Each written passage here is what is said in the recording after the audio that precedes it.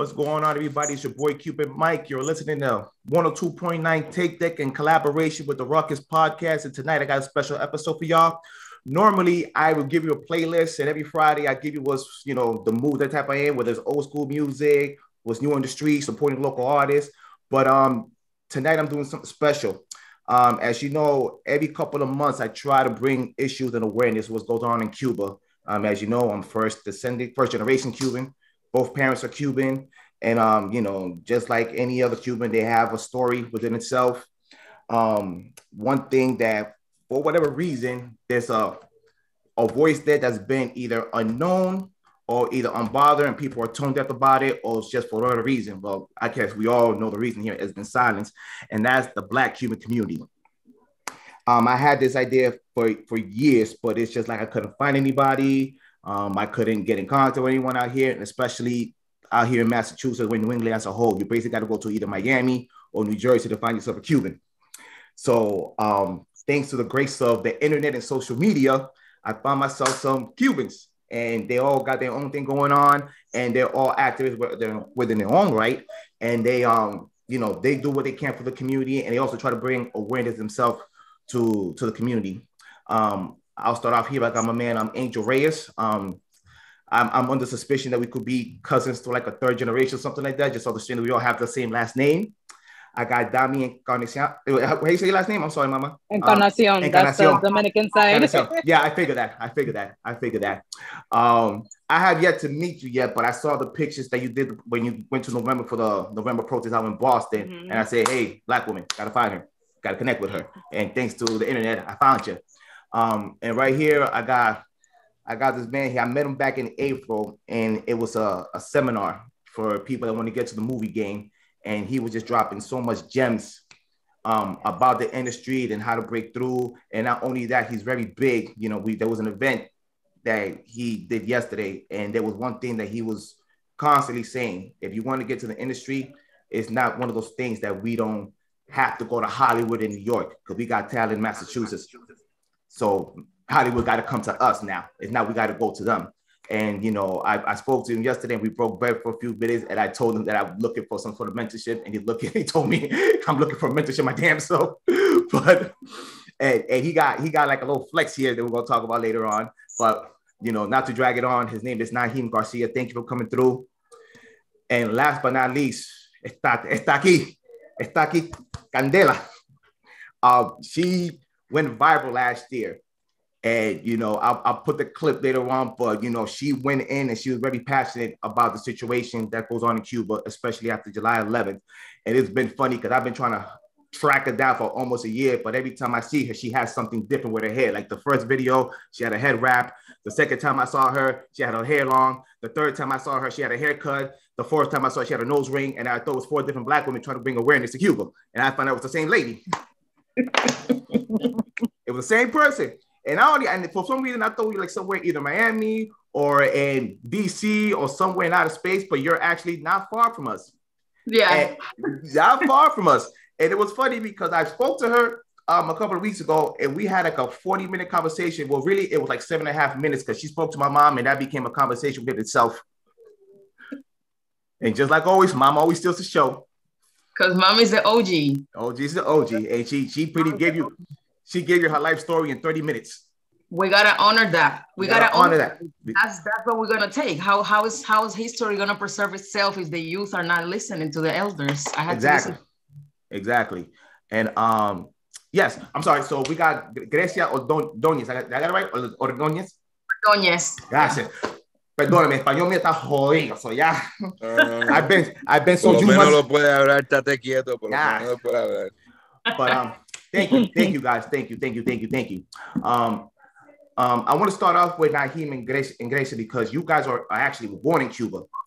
And um, I just want to give you, if you guys could give me like a brief experience, what was life out there, and just try to learn, you know, coming out here and navigating to the United States and just the trials and tribulations you guys been through.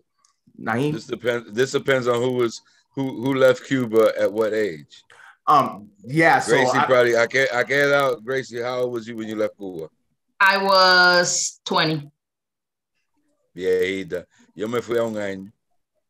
I know. So, she, get, so she takes the floor. She takes the floor. Go ahead. I lived 20 years there, 20 years in communism. Mm. and I can tell you, uh, indoctrination is a real thing. Um, you know, to cage birds flying is a sickness. And I was, I, I was part of, you know, I used to be the whole Seremos como Che and stuff like that. I realized through my brother Guillermo Ordóñez, he right um right now he resides in um, New Jersey, and he was always part of the opposition. Um, he wrote a book. Uh, the police used to come and you know just break into his house and take his literature and stuff like that. It was bad. He was always in Zanja, in, the, en la estación de policía de Zanja. my brother was always there, you know.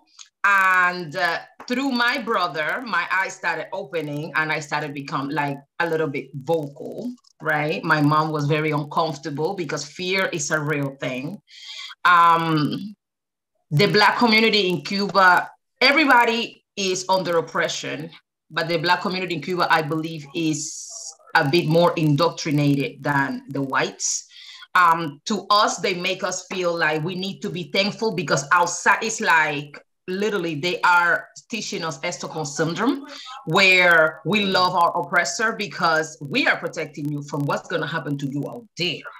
But because we don't know what's going to happen to us out there, especially in the time that I was there, there was no internet, there was nothing. So the only reference you had was people coming from, you know, from overseas, the, the turista, los yuma, um, whoever had cable and could, you know, little things like that. And in the beginning, there was not even like cable. You couldn't even get cable or the DVDs with the Sábado Gigante and shit like that, and las novelas and all of that. That we used to have to buy that and, and you know play it like super low, so nobody knew we was watching those calladito, uh-huh. So your only source of information was el noticiero, the news, the local news. You know, when you control the information, you control the narrative, and these people control the narrative for a long, long time, um, to the point that 2022 in this country, I walk into a room, and people still ask me or tell me things like, "I didn't know there was black girls in Cuba." Really? Dale. Right. Got it. No, no, the best one is you don't look Cuban. Mm. Oh then my. tell me something. Mm-hmm. Where does the term mm-hmm. Afro-Cuban come from? If I don't look Cuban and the term Afro-Cuban, especially when we ah. talk, uh, eh, yeah, I see it. Mm-hmm. So, you know, I I I'm I'm I'm a sarcasm queen, so I reply back with, "Oh, so you thought the only black Cuban was Celia Cruz?" And you know, little yeah, things like that. And I just, yeah, you know, I just yeah. You know, but it's it's a real thing. So now my um I wasn't expecting to go viral last year at all. I was not expecting to go viral. Um, that was not in the plans, but I guess it was in the stars. Um, I just got I just got upset. I got very very upset um, when July 11 happened and the Black Lives Matter organization, the statement that they put out didn't resonate with me.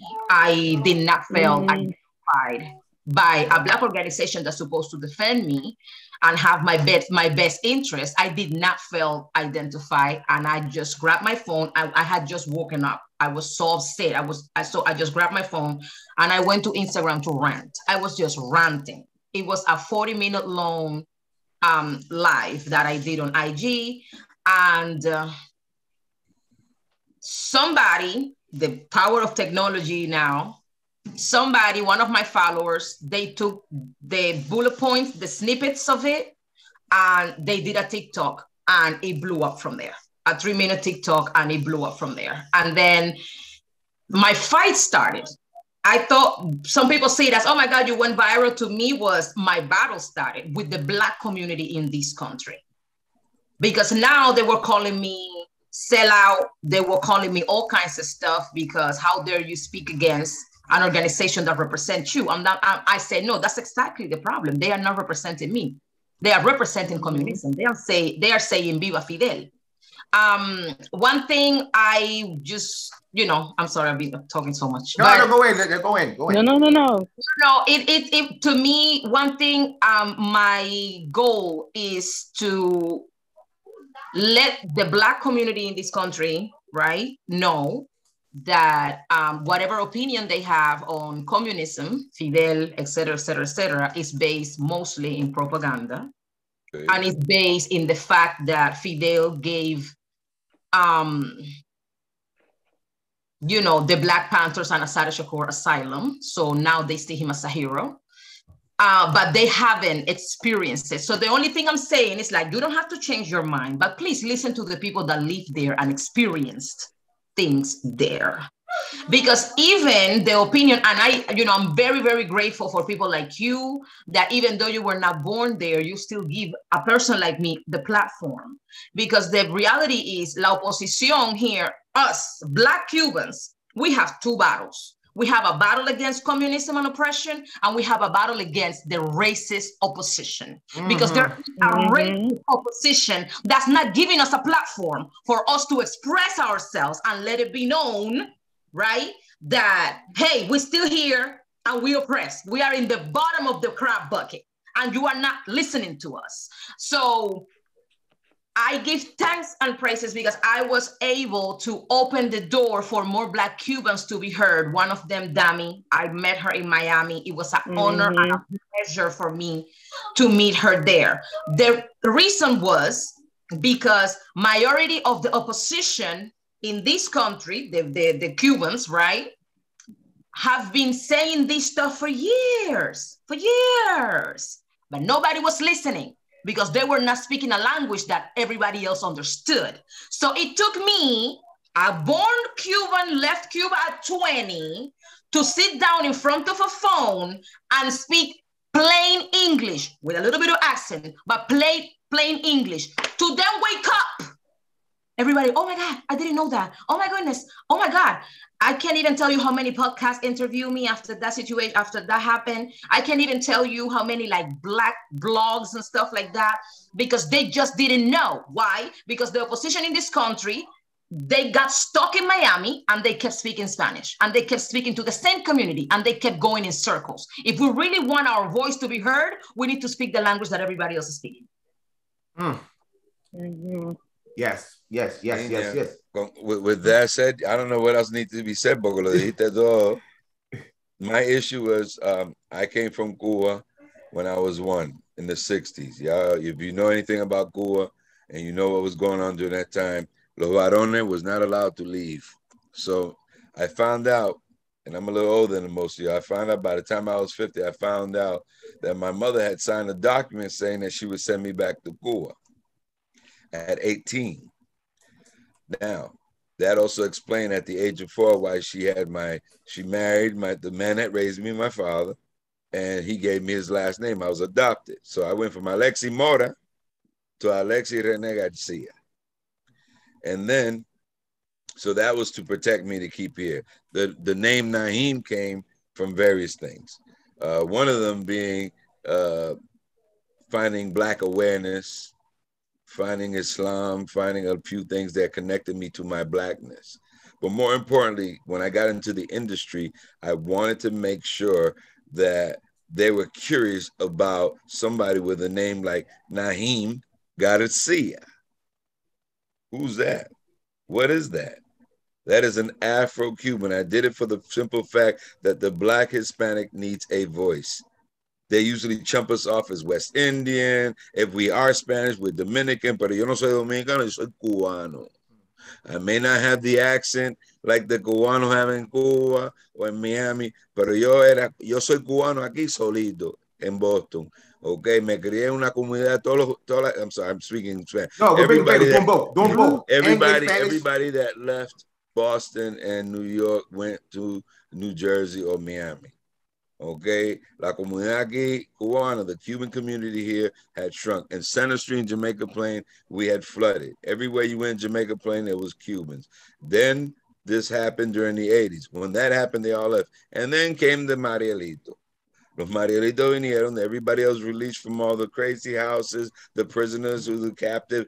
Gato los soltó y los mandó para los Estados Unidos. Therefore, in the 80s, we had the madness with the cocaine business in Miami and the whole stigma que los cubanos son drug dealers and Cuban. Da, da, da, da, The most important thing for me is los cubanos somos bien políticos. We we we brought art and and art and performance to the culture. We brought lectures. We brought everything to the community. We're not just oh, que están aquí, blah blah blah. We're very intelligent. We made a very major contrib- contribution to the world. Yep. To the world on we all levels. Political. Our roots in our when it roots. comes to religion. We preserved it and mm. brought it here to then the black community can tap into Santeria, Palo Mayombe, uh, Abakuá, and all of those things. We preserved that and brought it here, you know, so that la the comida. Sí, claro. La comida, claro. la música, el arte. I mean, we're we're not shallow, not a shallow community but we get overshadowed because we're black and they bunch us up. But we have a voice. So Nahim Garcia was uh, uh, a, a, was important because I wanted to make sure that they knew that there was a black Hispanic voice present and operating and moving. You know, back when I was coming up, there was a show called Baretta, and one of the characters was this black guy that was a pimp, but he was a Cuban man a Cuban man that didn't have the opportunity to identify to his Latin, black Latin Cuban culture. He had to bunch it up and be black, black American, but I'm not black American.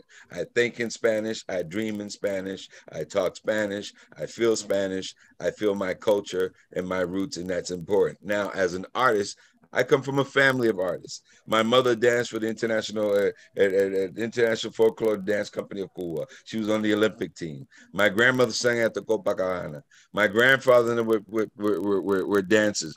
My my biological father in Cuba and his brothers were singers and performers and very important in Cuba. When my mother got married with my father, it was a big parade, Cadillac. They was famous. But when I came from Cuba, for some reason, everything was hush hush. The only thing I got was, tú no puedes regresar a Cuba. Tú no puedes regresar a Cuba. Tú nunca vas a regresar a Cuba. Olvídate de tu padre y tu familia porque nunca los vas a ver. You know, and that's a very tough thing when you're coming up and you're in a community that does not identify, you know, eh, people identify Hispanics as being but a pecan, tu sabe, or Puerto Rican. Everybody was Puerto Rican if you spoke Spanish, yeah. you know. And then later on, there came the strong population of the Dominican. The only time you thought about Cuba is when you went to Miami, but we're all over the place, all over the place, making moves. And nobody knew that the CEO and president of of of Coca-Cola and I'm Guano, Mobil Gas, Guano. You know, so we're we have contributed contributed to the community and the world in quite a big way. But enough of that because I know there's a lot you want to address. Nah, man, I love it. I love it, man. That's what we're here for, man. We we talking out, man. We might go overtime, man, depending on the mood y'all kind of in, man. We make we might make this a two part episode, man. Um, I'll say this because I was originally born in New Jersey. So next to my oh, next to Miami, um, Jersey got like the most Cubans out there. So when I was there, exit kid, 14, ya tú sabes, Union City, ya sabes. So I always had, you know, early ages that that that Cuban thing that had the Cuban community, that Cuban thing. I had it, but then I ended up moving to Massachusetts. So the Massachusetts, it was a shell shock because it was nothing but Dominicans and Puerto Ricans. So now I had to learn their culture. And the thing that sucked about dealing with that system there, me, I felt that I was robbed. I felt I was robbed because I remember as a kid, all my friends during the summertime, even Dominican or Puerto Rican, they always went back to their island. They always went to their island and they're like, yo, I'm gonna go learn the culture. I'm gonna learn how to speak Spanish to my abuela. I'm gonna go around the hood. I'm gonna learn, do all that stuff. And every time they came back, they always learned something about their culture. I never got that. I missed that. It took me damn near. I think the most Afro-Cuban again when I was either in Miami or even in Mexico because Mexico has a little sneaky community out there that nobody knows about that has a lot of Cubans out there. I have an uncle that lives out there, and I felt Cuban out there, and it was just unbelievable. Like the more you get to know the history, you go to a big what the fuck moment. Like why they got to be like that? What happened? And I had to deal with two things now. I had to deal with me being black in America and now I had to go back to 20 plus years to like learn the culture that's going out there. and because of the things that I was so behind on, I didn't get a chance to. I didn't get the chance to see my grandmother till I was like 26 years old. It took me 26 years to see my grandmother. It took me damn near 30 years to see my other grandmother. So I missed the cultural part. And I think that's the part that sucks about it. Because not only do you guys miss something because of politics, first generation people don't even get the chance to go back and forth. Even Cubans that I know for the moment, they still haven't gone to that. I still haven't gone there. Never gone there. And I'm still going back and forth with my mom because she didn't want me going over there because for her, Cuba is just deleted. And her mentality is I'm not going there until things change. And it, it just been a, a trip. Um, Dami, I got to ask you a question because I know you're half Cuban yeah. and half Dominican. So yeah. how was that trying to learn to those two cultures, and especially down in Brooklyn? Oh man, so growing up, I grew up in Bed-Stuy, so that's mainly like Caribbean. That's Haitian, that's Trinidadian. That's can you hear me? Yeah, yeah, yeah. Okay, so I grew up in Bed-Stuy, so Bed-Stuy is full of Caribbean people, you know, and um, I also grew up in Bushwick. So Bushwick's like little Latin America. So you got Colombian, you got Ecuadorian, you got all these South Americans. So I'm like, it's like iffy because I like because I'm black. I'm black at the end of the day. They only see me as that, just black, mm-hmm. until I open my mouth. And then so they hear like, they hear the accent. Yeah, yeah and they're like, oh, ¿dónde tú eres? so I'm like, I explained, I'm like Cuban and Dominican. He's like, ah, and then the first thing I hear ah, no parece cubano, no parece dominicano, but never met a Cuban or Dominican in my life. So. I'm like, oh, Lord. Duele, eso duele, eso duele when somebody doesn't. Rec- I get with the non-binary I people. I, I can be a billionaire on how many times I've heard that.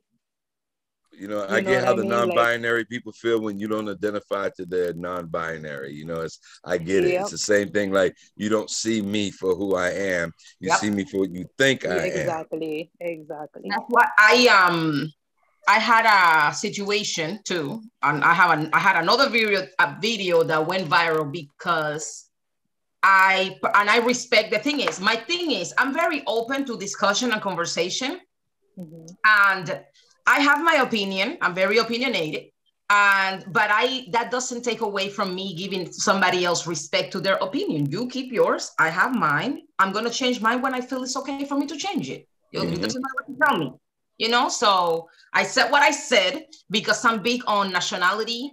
I study under the Moors, so I'm big on nationality, heritage, and ethnicity. They are not the same thing. So nationality is where you're born, right? right. So your ethnicity is you know and then your heritage is whoever you descend from right so uh, they keep you know i said i was i was just trying to you know and it was a conversation between latinos right it was uh, uh, Cubans, mo- uh, mostly Cubans, you know, first generation, stuff like that. We was having a, a conversation, and for some reason, the Black community felt attacked for what I said when the conversation was not with them first of all, because you guys only accept me when you want to. Let's just start mm-hmm. by mm-hmm. I'm having a conversation with my okay. people. Stay there, right? So anyway, they got mad at me because I say I was not born in Africa, so I don't want to be called Afro-Cuban. I was born in Cuba, so I'm Cuban. Cubana. Okay. okay. So, and I said, you know why? Because this Afro thing creates division. We already divided enough in the Cuban community to create more division. We never call ourselves Afro-Cuban until we came to this country and we start getting mixed up with the bunch. Yeah. And the term mm. Afro was born in the 70s in this country before they were not called Afro African Americans. Hmm. So or Negroes. I have to adopt a label that never really belonged to me. I know where I'm from. I know where I'm from. I know my nationality. I am born and raised Cuban. Mind you, I have friends from Ghana. I have my mother-in-law lives in Tanzania, my, my children's grandmother, all of that. Ethiopia, their grandfathers from Ethiopia, from the that side. Guess what they call me? Cuban. Afro Cuban. Cuban. Cuban. They don't Black. call me Afro. Mm, yeah.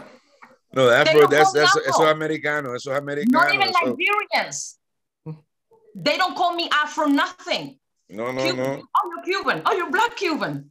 Oh, you're Cuban. Yeah, you. We all brothers. We all brothers and sisters, right? but they never put the Afro label because it's redundant. My mm. melanin says it already. That that's my heritage. So dale, why do I need to remind Exacto. you? That was a big argument. Oh, gosh. They, Gracie, you, you're on fire, mami, de verdad. Oye, Me gusta. I, I, yo estoy así. Oye, no, pero tú oh. sabes que I, I, I didn't get a chance to grow up in a Cuban community. I had to grow up with the Puerto Ricans and the Dominicans and always had to make sure that I maintain my identity because you're right. I am Cuban. Mm-hmm. I'm not Dominican. I'm not Afro. I'm not. I am Cuban. I'm a Cuban man who happens to be black. Yeah. Espérate. But here's the new one. Ahora que estamos con el Afro Latino, the new terminology. Latinx. Latinx. Latinx. Yeah. Latinx. I'm hablar, no, I'm hablar de eso un poquito.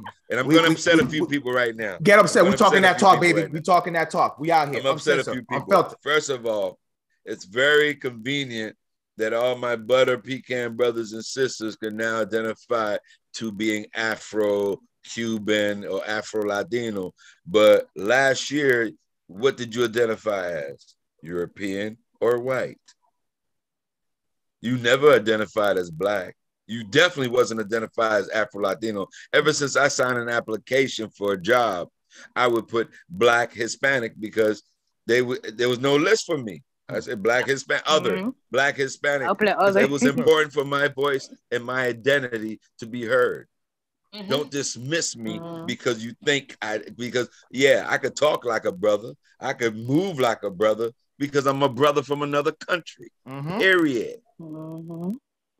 But but they have to respect your nationality though. Nationality has to be respected. And the reason I said what I said is because I know in my heart that Cuba will be free and it's going to happen soon. And when it happens, I don't want, I don't want the white Cubans, with all due respect, sí. count me out of the piece of the pie. I'm gonna receive the same piece of pie, Amen. The, the very Amen. same piece of slice as any Cuban. Don't discount me because labels create separation. Claro que sí. Claro que sí. Mm-hmm. Yep. Separate me take off the afro. I'm Cuban just like you, and I'm gonna receive the same amount of wealth transfer as you. Ah, and we're all gonna rebuild that country together. And Dale. we're all gonna benefit the same. And you put in the work, and you put in the work as much. It's even harder, even harder being a black woman, even so, harder. So mm-hmm. I know because I know because I know because I was born and raised there, and I know how racist that country is. I know how colorist that country is. Oh yeah, I know it from experience. So oh. don't count me out. I don't want oh. no label. It's all don't good. don't don't count me out. Listen, okay. I remember one time when I was in Miami. Hold, hold that and, thought, hold that thought, hold that thought, because we're going under a minute, so I'm gonna send you the link. So we'll see. Just keep going. If you see the thing going, I'm gonna send you guys another link. But continue. Okay. Go ahead. I was uh, I was in Miami hablando con un cubano que de España. And let's just put it like that, un cubano yeah. que identifies European. Y hablándole en español. And he tried with everything he could with his terrible English accent to keep speaking to me in English. And I went just like this. Te estoy hablando en español, chico. He said, ay, Dios mío, disculpa. Y entonces empezó de nuevo con el inglés. He would not identify or respect the fact that I was speaking to him in his own language. He didn't see me, therefore he did not hear me. Mm-hmm. And I've been struggling with that all my life. The white man didn't accept me because I was black. The blacks didn't accept me because I was a different kind of black. En los yeah, latinos, latino. because yeah, y, los, yeah, y los yeah. latinos me aceptaban habla porque, español. Porque, porque, mm. porque, porque, porque no me veía como ellos. I remember when I was, I lived in Jamaica Plain Egleston Square in, in, in, in, in Boston, a very Puerto Rican community. And I remember my friend, Cubans are some of the most racist. Go ahead. I said, eso me tenía encendido. Cubans are some of the most racist individuals, the, the, the, the, white Cubans. But in Cuba, from my understanding, was a different story. Todo el mundo tenía su, su sitio, los mulatos tenían su sitio, los negritos, todo el mundo, pero nadie estaba con eso de, mi mamá y mi tía me dicen todas las veces, nadie estaba con eso de que tú eres esto y tú eres aquello, el cubano es cubano. Pero las cosas cambiaron cuando vinimos aquí. Porque aquí todo es una mezcla y todo es separación. I noticed um, a lot of, you know, I went to school with, come on, everybody, everybody and their mama. We don't have a problem, okay? I had uh, one of my good friends, blonde, blue eyes. Mi hermana, my sister. People would look at us crazy, right? Because that's mi hermana, mm. right? Um, it I did experience racism in Cuba. I'm not gonna act like I didn't. I did. Um, especially when it came to like um like job applications, like you know, work. And when it came to, yeah, the same yeah, thing. Go ahead, go ahead. No worries, no worries. Um, because I, I wanted to, you know, shit, I wanted to be bailarina tropicana, you know, I wanted sí, to be sí. yeah, esta cara, esta cara had to didn't let me, no me dejaron. Porque tenían miedo tenían miedo que esa negra iba a venir y era una tormenta ¿Eh? que iba a tumbar a todo el mundo y todo el mundo, oye, ¿dónde está la negra esa? Y es el problema porque la negra tiene atención que ellos no tienen. H, H. So, you know, but I have to thank um, the guys from Cuban Freedom March. Yeah, salutes. Salute. Cuban Freedom March, even mm -hmm. though they are like you know, most of them are white, white descendants, first generation born here, but they just operate different. They operate different. Yeah. It is something, I don't know, it is something about this new generation born here. They operate different. They all about inclusion. They pull me right in. That day in Miami that I met Dami, I wasn't supposed to talk. I was just there because I was just there they pull me in. They're like, come, come to the stage and talk. You need to represent. They need to see you. They, they need to hear you. You know, I give thanks to the people from Forward Miami, uh, Damian Palante. Uh, he is, he was, uh, still is a very like fiery um, fighter for gay rights, Latino gay rights, a Cuban man here in Miami. Uh, he was one of the, he's one of the reason why they stop, you know, like this discrimination in workplaces and stuff like that against gay people and things like that. He's been a very big, big voice. He is, um, you know, the one that's behind Forward Miami and Palante, um, Palante Miami. Yes. And he gave me a couple months ago the New Voice Award in his Forward Miami event. Um, was that the one? Wait, was that the one you were wearing blue? That's the one I was in blue. Yeah. That's the one that my mom saw you at from the Otaola show. The Otaola. He put you on there. So that's when he. All right. Um. Well, wait. So yo salí dos veces por Otaola. I didn't know it because I. Yeah. And that and that sick and that and that that clip. Otaola put that episode. He put that clip when you were on stage and you spoke. You were in blue. Oh. Short hair. Yeah, that's where I saw you at, and I'm like, yo, it's her again. And I'm like, why the hell she just keep popping in my life like, then leave me? My video speaking against Black Lives Matters that yeah. I look I look like crap. My mm. hair was too short. I was sitting with a white T-shirt just on my couch. Uh, oh, yeah. That uh, one. Salió por otra espérate, no, and the other one too. Espérate, espérate. con todo respeto, espérate, espérate, con todo respeto. Mija, I don't think, yo creo que tú con un mapa en la cabeza no te debes, man, estate quieta. Okay, enough of that. You black, beautiful Cuban women, cut it out. Cut it, both of y'all, cut it out cut it out because you mm. can wake up in the morning. Beautiful black women don't got to do all that makeup, all that. Mm. Mi mamá se pone un mm. maquillaje y mi mamá es bonita. Mi hermana bonita, con un maquillaje, pero son precios. No, te enseño una foto, mujeres, pero bella, bella. So, stop that. Keep, you may continue. Yeah. But I didn't know that video was in Otaola too. I didn't yes, know. He put that clip on. He put a clip. I have to find it. I have it. I put it on my website. I put it on my social media. I tag you. Oh, I have to find it. Yeah. I, I never. I, I, I knew the other one, I knew the other one, de el que yo hablé en contra de Black Lives Matter, diciéndole que ellos eran una, you know, that they have a communist agenda because they say viva Fidel. Yeah, yeah, yeah. Ay, Dios oh, Dios mío. Yeah. Can I get on that one? Go ahead. Sí, Go ahead. Oh, Go ahead. Por favor. And that's how, so and, this, and that's what I asked you, remember in Miami? if you are for Black lives, guess what? The Black Cubans matter too. Yeah. Mm-hmm. Yep. It cannot be just for Black American lives. You have to be for all Black lives. All Black lives. That's right. No, porque Black. Vamos, okay.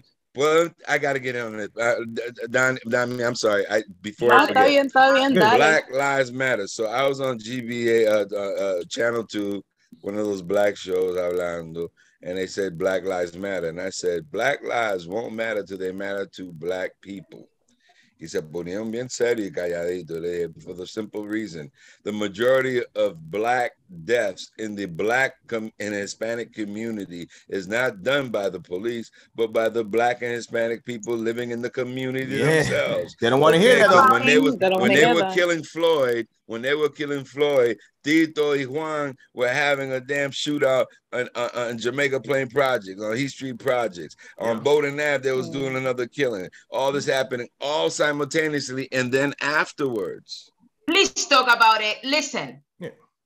When when who pick, pick one. Go ahead. a black woman being either killed or raped every five and a half hours. Yeah, it's yeah. not being done by the white man and it's not being done by the police. No. It's being done by the own very own men that was that are supposed to protect us, sí. uplift us, help sí. us heal, dale. and provide for us. Dale, dale, dale. Mm. So mm-hmm. You cannot tell me I am good enough mm-hmm. to come out there and protest for you, bail you out of jail, mm-hmm. um, and, and defend you right? And jump in your wagon for that. But then when I want to be protected and provided for, I cannot turn, turn to my own man. And I believe that has a cellular memory, okay? This is deep. This has this needs deep healing because it's deep, okay? The I don't like my own people syndrome. Es verdad, es, es verdad. Mm-hmm. Oh yeah, but isn't it convenient that they allowed during a pandemic when nobody was supposed to be doing anything but being isolated, they allowed a protest to happen during COVID. How convenient mm-hmm. that you mm-hmm. wanted us to be able to have our rights during a time when you knew when the population would get together during a pandemic that the majority mm-hmm. of these people would come up very sick, even though it was outside that had nothing to do with all the people mm-hmm. hugging and doing all this business outside during a pandemic that could be sick. Hmm. Okay, so I thought it was a very convenient way for some genocide to happen while they allow black people to protest about what was happening with police brutality. First of all, I don't know why you shocked about some police brutality because the police has been killing the black folks for years. So that ain't nothing new. The mm-hmm. thing that I want to see is when are you going to protest and go down the street and tell Tito and Tyrone that we're not going to let you sell no more drugs here. We're not going to let you do your gang violence. We're not going to allow you to be beating your women. We're not going to let you walk around here with your pants down to your your ankles. We're not going to allow you to act like you got fool when you're in school. You're supposed to be getting educated. We're not going to mm. allow you to fail us because it's convenient for you. So mm. when it when, when you want to talk about Black Lives Matter, let's stop let it stop mattering to us mm. because I get the big picture, but the real internal problem is that we are constantly at it. Like my sister said, in this country, labels, titles, and everything else causes separation. As long as they keep exactly. us separated, they can control us and they can master us. Yeah. That's what the lessons say. As long yeah. as they keep us blind to ourselves, they can master us. That's what the lessons say. Because even though I'm Cuban and raised in a Christian home, I'm a man of Islam. Check that yeah. out. Yeah. Mm-hmm. Cubano, Islámico. Yeah. I know when you said when you said more, I said okay. I study under the Moors. They can't tell me nothing. I, I've read the Treaty of Peace and Friendship. They cannot tell me nothing about history because I'll sit you and give you a history lesson. I have to do it like that. I had to do it like that because since you're not putting, since you know, since the whites want to put me in the same bucket, right? But the blacks don't want me in their bucket because I'm Latina to them, right? Then guess what? I am going to, you know, study, right? I am going to study and I'm going to teach you that, okay, you stay in your bucket if you want, but if you decide to reclaim your nationality, your aboriginal rights, right? You are the original man of these lands. You the, are the original man, the maker, mm. the owner, the cream of the planet Earth, the god mm. of civilization. Oh, well, come on, stop. What's coming back and mm-hmm. forth here establishing commerce, right? That's why when these people saw the, the, the boats from the white people, they didn't get afraid because they were they already saw it. If it was something new, they would attack it because you always attack what's not familiar. But hmm. because hmm. it was familiar, they embraced them. And, and they, they got, and they got tricked. Yeah. And then they got they tricked. tricked. Mm. Why is that? Because the Moors were already coming and establishing commerce and, and making babies because the Moors always want to. Yeah, yeah, yeah, yeah. So, so Dami, Dami, Dami, yeah. Wait, so Dami, being from Brooklyn, You you already know I, am a, I'm a five percenter. Mm-hmm. So you know you from Brooklyn. So you know you go to Fort Greene, you see the big rallies. They were just there. So you know that. So you know, and coming into that, the reason why I embrace Islam because it identified God mm-hmm. and blackness. In the church, I didn't see. I saw the Jesus blonde head. I saw everything that did not identify or look like me. And all, especially after looking at slavery, and they justify slavery through the book, through the Bible through the Bible. They believed mm-hmm. that the mm-hmm. Bible gave them the right to enslave black people. So therefore, I started yeah. to look at this. And now, mind you, my mother's an apostle, my father's an apostle, my aunt and uncle's a deacon in the Christian world. Cristiano de verdad. And mm-hmm. I love and respect the Christian faith because it allowed me to have some kind of a substance and love for the true and living and the most high. But at the end of the day, when I identify God and and and and and and the belief of something spiritual to myself, I was able to identify to this this this teachings to black people. And I embraced it because it spoke to me. But at the same time, I had to look at my Hispanic or my my Latin culture and try to understand how that fits in. So now when I'm in the community and I'm talking about, you know, that the black man, he got that boom, boom, boom, that became a whole nother a whole nother obstacle because my people Okay, my people, those that were not conscious were in a in a very deep place, in a very hard place, and it just became a wall, a constant wall that I constantly hit all the mm-hmm. time until I realized I don't have to teach you, I have to teach the babies. Mm. Yeah. You got to mm. talk to the babies and what's coming up. You got to rearrange their mindset because you can't teach an old dog new tricks. That's not your job. My mm. job is not to help grandma and grandpa, mommy and poppy, except give them a place to live and make sure they're not abandoned. Uh, my responsibility is to the babies the children mm-hmm. and making mm-hmm. sure they understand. Like I tell all my kids, I say, you may not speak your language. One of them do. They understand it, but they don't want to speak. I say, and now that they're getting older or they're a lot older, because my children are grown, they're sitting there going, mm-hmm. well, you know, uh, Bobby, why didn't you teach? I know I taught you Spanish. You just didn't embrace it. You didn't ah. practice it. Mm-hmm. Even I, when I came to this country, I mm-hmm. got to a point where I lost my Spanish, my Spanish accent, everything. And I took myself to Miami very early. Pasó un tiempo ahí. I came back and I never lost it. The little that I got, I kept. I told them, Q, you know, tú no te ves cubano, o tú no eres cubano, tú naciste aquí. Oye, a mí hiciste algo. Mm.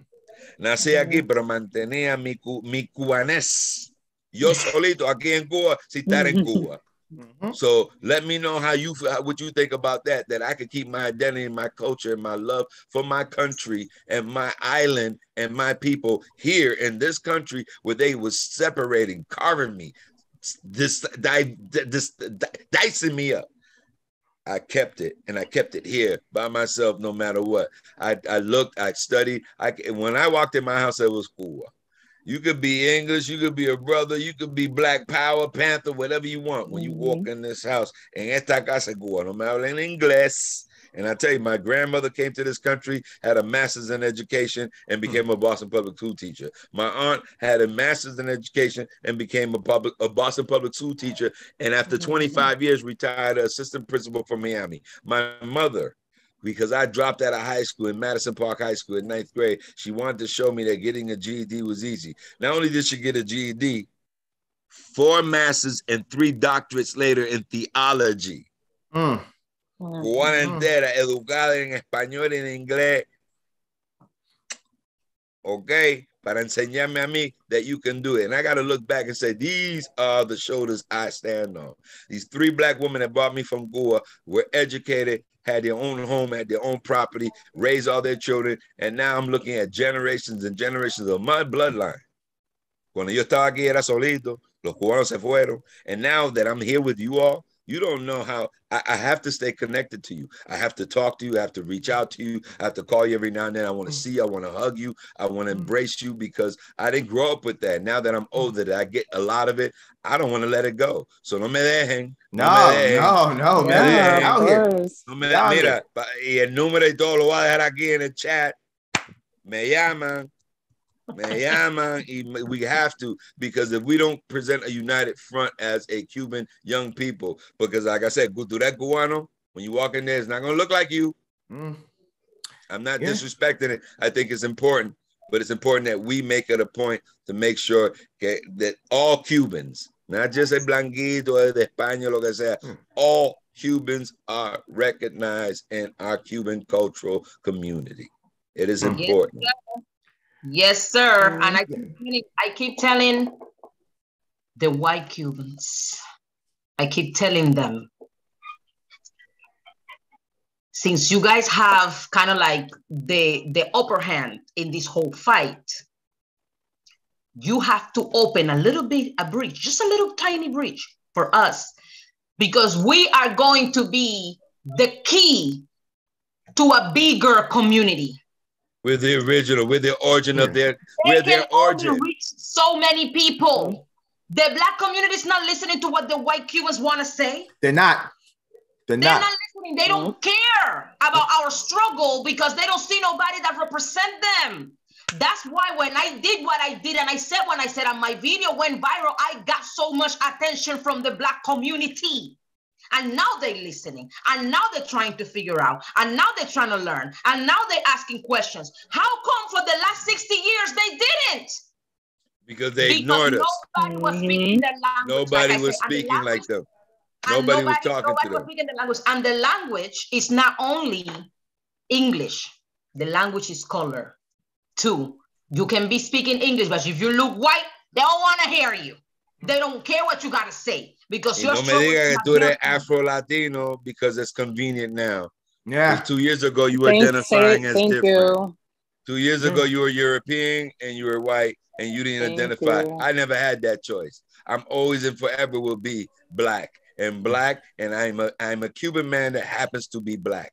Period. And I love it, and I wouldn't change it for nothing in the world. And I am very grateful to be here in the presence of my allies, cubanos como yo, criado cubano aquí o allá en Cuba, pero criado cubano.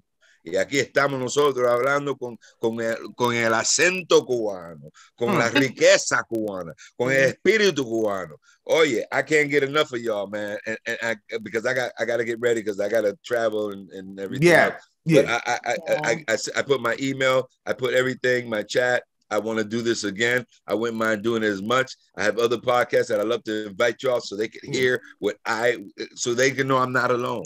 Yeah. I am not alone. Yes. We out here, man. We out yes. here. Yeah. Yes. I appreciate yes. you no, all, man. We gotta keep the support. We need to support whatever you guys, you know, have going on.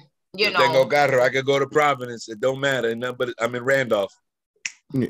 And nothing but a skip, hop, and a jump. You about to, you about you less than 40 minutes away. So if we gotta come out, we come out. We gotta, we gotta, we gotta, we gotta carpool, we carpool. If you're doing an event, we need to show up wearing our colors, letting them know los cubanos estamos aquí vivo y fuerte.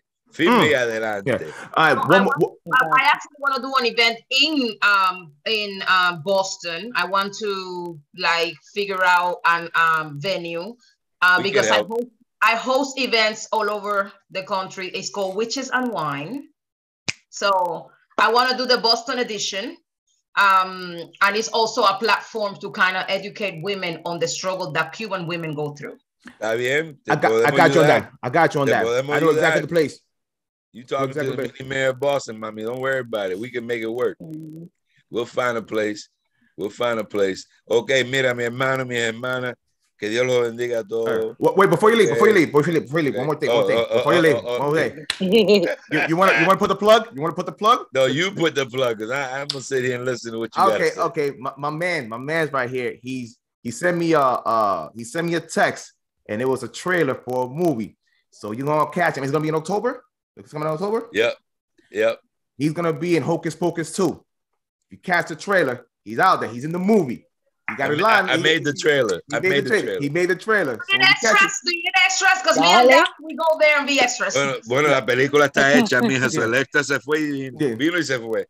Okay, pero mira, no, it's been. I gotta be. I, am very humble. It's been a yeah. very humbling year from July to from July of last year to present. I had the pleasure of, of filming six movies, and it, it went from um, the uh, Spirited with Ryan Reynolds and um, and Will Ferrell uh, uh, to I Just Want to Dance with Somebody, the Whitney Houston movie, to Hocus Pocus 2. And then I got my supporting actor position in a movie called The Holdovers with Paul Giamatti and a director under Alexander Payne. And I just finished doing Money Game, and I just doing finished doing a movie this past weekend called um, Tired Town, which is a fake name, but it was with the sister named Zendaya Collins, who is uh, a great actress. I got the chance to play her father, uh, and so you know it, it, was just a pleasure and and and and I and and and then I'll be hopefully in a few weeks I'll be filming uh, a Sony Marvel movie and I'll leave it like that. Yes, and, go. Let's go. Make us proud. Make us proud, Nahim. Let's go. And I and I never ever ever ever ever ever deny. I constantly wave the flag of being a Cuban man uh, that happens to be black, an actor that happens to be black, and very proud of it. And I would never trade it in the world. And I would go through busing and all that crap I went through all these years just to be in this place right now, looking at myself in these four cubes and saying, man, we have come a long way and we are coming hard and we are coming rich and we're coming beautiful. I got articulate sisters. I got our brothers doing broad. I mean, we in a good place. So as long as we stay united and as long as we continue to support each other, will become a force that, to be reckoned with. So, Ache. Ache. Ache. Y que Dios lo bendiga. Y, and, as we like to say in the 5% circle, peace. Peace, God. Peace, God. Peace. peace. All right, peace, man. All right, we're about to wrap this up, but I got two more. You good? All right, so I, am gonna call you. I'm gonna call you. All right. All right. Nice meeting you. Nice meeting un placer, you. Un placer. Yeah. Call, call, email. All right. I, we'll take care of you. We'll get you down here. No problem. All right. Well, we're about to wrap this up. I've got like two more questions I had to ask. Like actually a long list, but you know, I'll finish up with these last two. I know everybody got things to do, even though we had to start at 8:30. But you know, CPT is live in effect out in the streets. So um we'll never get it right with timing, guys. We'll never get it right. Um, one one of the things I wanted to ask both of y'all, uh, particular Gracia, when you went viral, you know, July 11th, right around the corner. So, have you seen, you know, any? How can I say this? Any some sort of prosperity within your circle? Like, you know, did your people got it? And do you feel that you got at least more allies? Like, has more questions has been asked? Has they been more curious? Or because I I would say on my end, I will say 90 to 95% that I my circle, my people, they got it. They understand what happened after July 11. They they saw the issue. They didn't know. And the one thing I want to tell Nahim before he left, what was dope about um, July 11, it was us when that protest happened, when I mean us, it was black people. I mean the black hoods taking it to the streets. It wasn't the white ones. It wasn't even the town with no Asian. It was black people in the streets and these black hoods mm-hmm. that took it out there and said we had enough. So the color looked a little bit different this time around. It wasn't the folks from Miami. Um, a year done came by, and like I said, 95% of my people got you got the other five for whatever reason.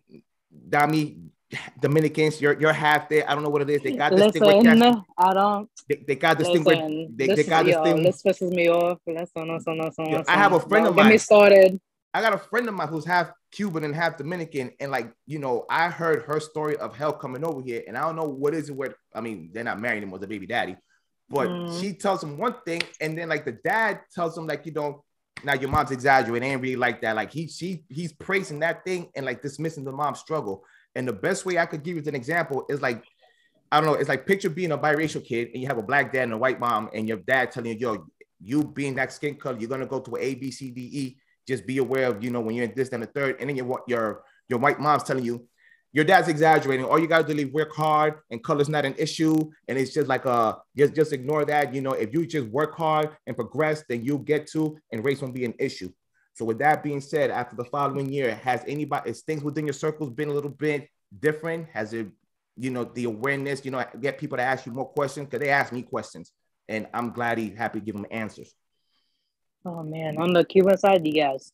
Like when I went to Miami, like that just like I received a lot of love when I met Grecia. Yo, I just broke down because I saw another black Cuban who understands so I didn't even have to say nothing to her. That's why you see the picture. Like I'm, I'm embracing her, and she's embracing me too.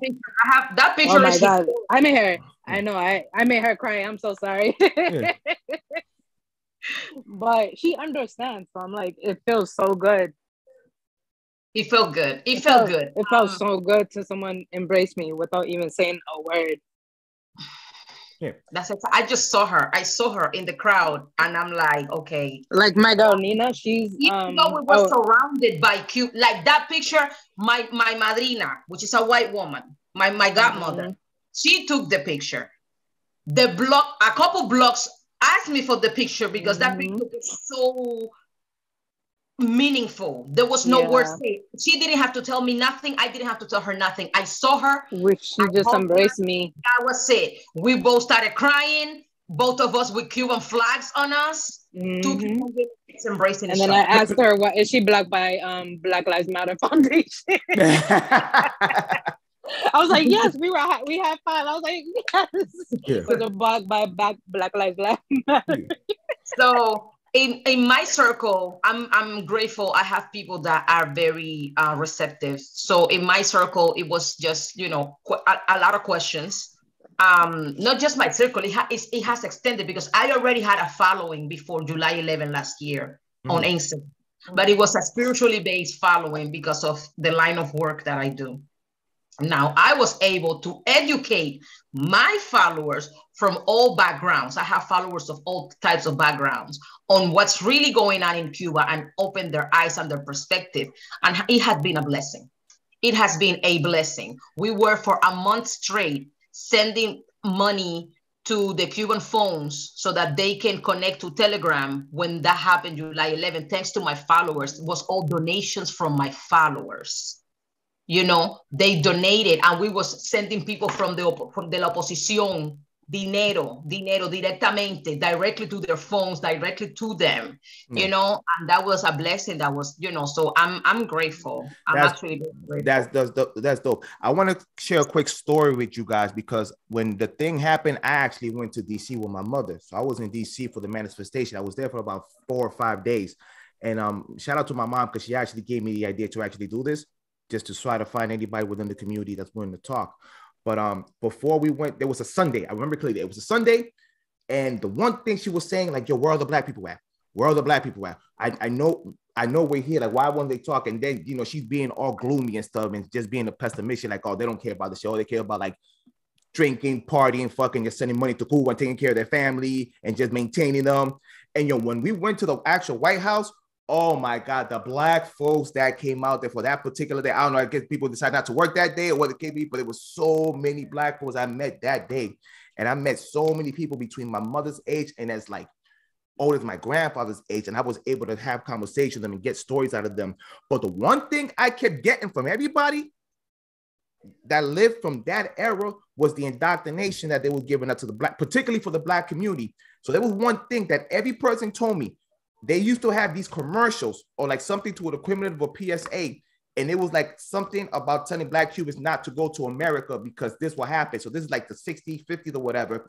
And it's showing these videos of black people here in America with the fire hose, the dogs, the church bombing, the Ku Klux Klan, the cops beating black people. It was all that stuff. So it's like basically the commercial was saying, long story short, you don't want to go out there because they're going to treat you like that. So take our bullshit. Take exactly. our bullshit. Oh, yeah. there, you're gonna treat you like That's that. my mom told me. Yeah. And it was my grandfather that for years he wanted to leave. And you know, because of course everything was so suppressed with information, he was like, I don't give a fuck if I got to deal with those cops. I don't care if I got to deal with the church bombing. I don't care. If, I got to at least take a rest and see with my eyes because I don't believe that system. I don't believe it. And I don't, I'll, I'll fight a dog and get bite than to get because he, unfortunately, he has his own tragic story that he got harassed by the police, got beaten, went to jail, et cetera, et cetera. So he has his own little PTSD he had to go through with that system. But everybody told me the same story. And even when my mom, I think my mom told you, when she came over here, she was paranoid to come to certain street and go to certain neighborhood because he the first thing she thought was like dogs coming after her. They thought they're gonna, be a police, they're gonna kill you. I can't cross the street. I might have because it was a predominantly black neighborhood. It was predominantly a black Puerto Rican um community she, you know, she was black, so she was able to navigate to both sides. But then when she was able to talk to the Puerto Ricans, they were like, "You're good out here. They haven't done that to them to like in ten years, so you don't worry about that. You don't have to go to that. They haven't done that with these. The laws change. People know this stuff." And she's talking to my dad. She's like, "Oh my god, this motherfucker Castro fucking lied to us for all these years. They fucking lied.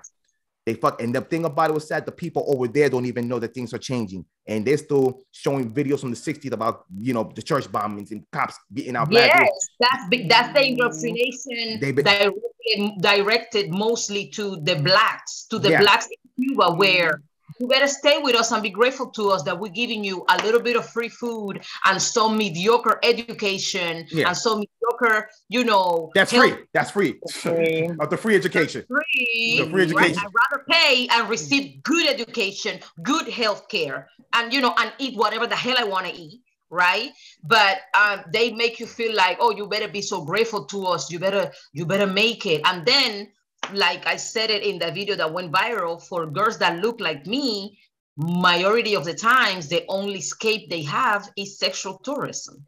So we need to go put ourselves out there and hopefully somebody grant us a visa to take us out of the country. Hopefully somebody want to marry us to take us out of the country. Yeah. Hopefully somebody like our ass enough, you know, to get us out of that prison. And the thing that sucks about it, you got to deal with a disgusting old man that's losing his hair, wrinkled up, just fetishizing black women.